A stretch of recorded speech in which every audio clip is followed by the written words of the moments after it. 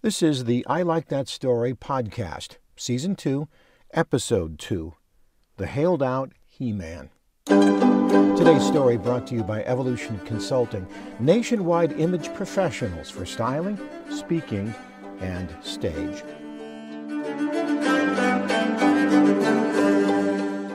As you are aware, I speak to groups throughout the country, and the group of people I was speaking to just last weekend were a group of young farm couples, and a nicer group of people you'll just never find.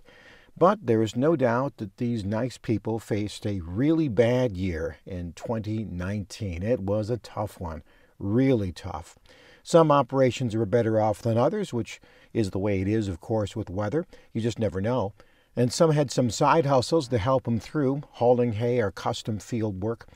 I did notice that the ones who had had the tougher years were closer as a couple.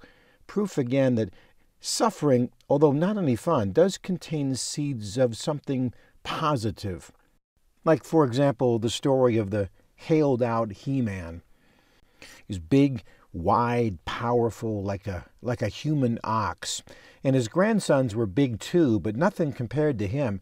One of the grandsons, plenty beefy himself, said he could put Grandpa's wedding ring on a thumb and it would still twirl around his thumb like a hula hoop. That's how big his hands were.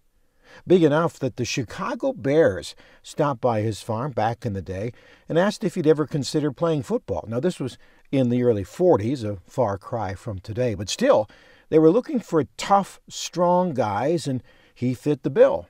He was honest with them. Fellas, I haven't even held a football, and they were honest back. Don't worry, you won't be. anyway, he said no. He stuck with farming, and he was hailed out that first year. The second year, he was hailed out, and the third. The fourth year, he made it to a ripe and ready harvest in the field, a bumper crop. And that was hailed out too. The bank wouldn't give him any more chances.